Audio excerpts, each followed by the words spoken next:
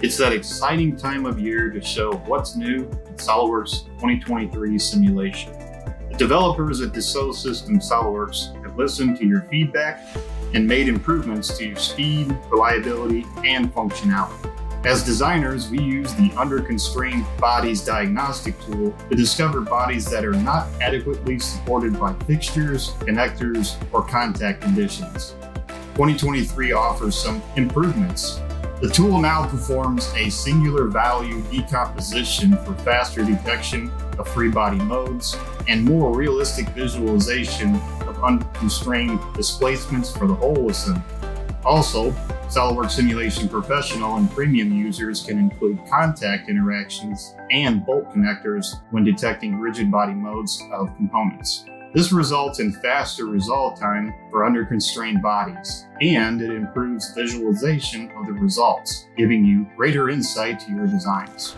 For linear static studies in 2023, the new contact penalty stiffness control allows you to trade accuracy for speed in contact convergence. By lowering this scale factor, you can obtain a faster, more approximate solution and iterate more quickly for through designs. Be sure to favor accuracy again for your final analysis.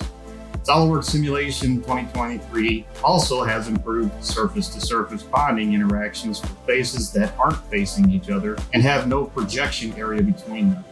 In previous years, when trying to establish contact pairs that neither touched nor faced each other, the program would error out and stop you in your tracks. This is no longer the case, but there are still some rules. In order for the bonding to work, the angle between the faces must be less than the threshold value. Also, at least one of the faces has to be flat. This improved feature is available in linear static, frequency, buckling, and linear dynamics studies. You could also take advantage of it in linear static T and design studies.